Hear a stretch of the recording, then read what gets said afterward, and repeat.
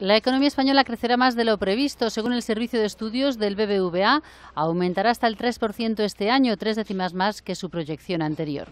El PIB crecerá un 2,7 en 2018. Nuestra previsión actual de cuál ha sido el crecimiento de la economía española en el primer trimestre es de unas ocho décimas. Estamos hablando de una tasa anual de crecimiento del 3,2 Similar también la proyección que hacemos para el segundo trimestre. Esto tiene un efecto arrastre sobre el conjunto del año y por eso revisamos al alza tres décimas la previsión de crecimiento para el 2017, al tiempo que mantenemos la previsión de crecimiento eh, del 2018 en el 2,7%. Mejora la previsión porque la desaceleración de la demanda no es tan intensa como esperaban.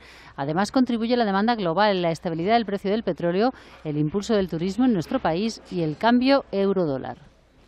Otro aspecto positivo, el precio del dinero.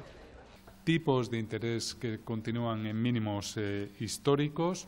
Es cierto que con una expectativa eh, al alza, muy gradual, no esperamos, como hemos visto en la primera parte de la presentación, subidas de tipos por parte del Banco Central Europeo antes de finales del 2018. El BBVA apunta a la creación de un millón de puestos de trabajo en 2017 y 2018.